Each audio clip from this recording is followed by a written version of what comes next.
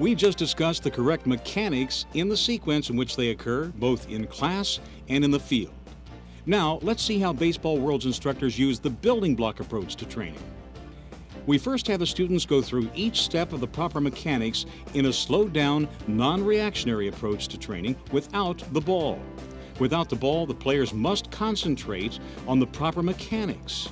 Without the worry of control, the focus is on the mechanics. Once the players have mastered the proper delivery mechanics to the coach's satisfaction, we suggest moving on to the tarp drill with a ball.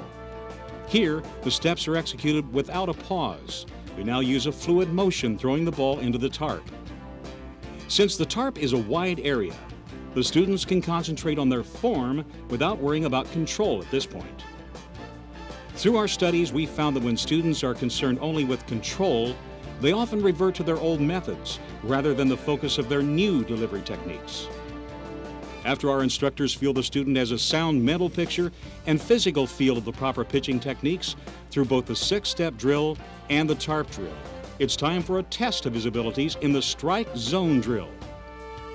Baseball World's 1991 AAU 13 year old team, operating on the same 60 foot 6 inch throwing distance as major league pitchers, have set records walking less batters that year than several major league ball clubs over a 10 game period.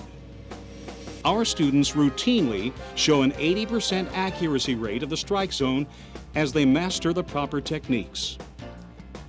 Although Paul and Brian initially made the six step no ball drill look simple earlier in this tape, they, as all our students, regardless of age and ability levels, struggle with the 45 degree transfer, pivot, and lift and load initially.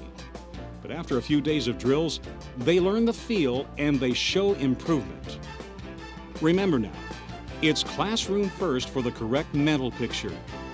Slow down building blocks with our six step no ball drill. With the tarp drill, we gain the rhythmic feel of the professional pitching delivery.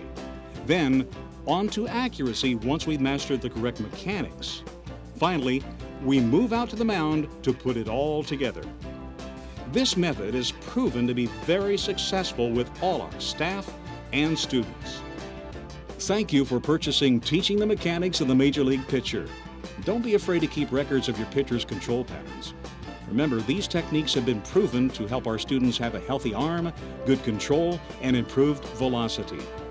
Please contact Baseball World at 1 800 833 1551 for information on summer super camps to set up a clinic in your area